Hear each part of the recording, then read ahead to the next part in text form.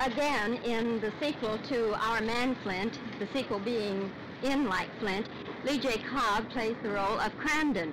Mr. Cobb, to what do you attribute the fantastic success that the first Flint picture had?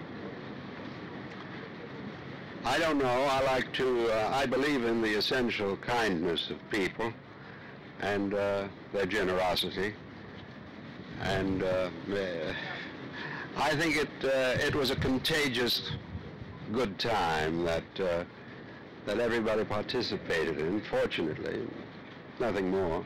Do you think that it was um, more of a challenge for uh, the producer and for the cast to bring the second one back and bring it up to the level that the first one had and perhaps even surpass the first one?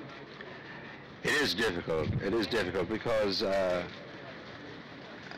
the things that uh, succeed in the first instance almost uh, unconsciously are, are the things that you try to uh, hold on to and uh, exploit again. And of course, sometimes uh, it can't stand that kind of treatment. So I'm curious to see how it'll be received. Do you find it difficult, Mr. Cobb, when you create a role like Cramden and then you've had a lapse of time and you go back into a sequel as you did in this case, do you find it difficult to get back into the character of Cramden?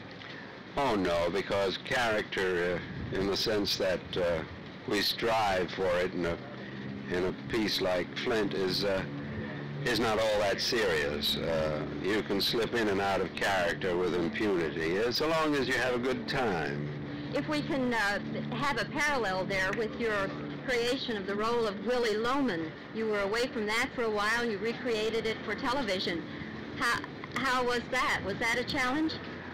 Well, that was a unique experience. Uh, I was away from it for 18 years, and uh, I'm 18 years older, or 19 now, and uh,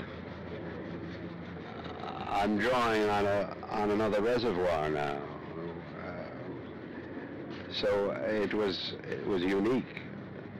The the the character is the same, Willy Loman, but the forces that I can hope to draw on for it are, are different today. Thank you for talking with us today, Mr. Lee J. Cobb in San Juan, Puerto Rico for the premiere of In Like Flint.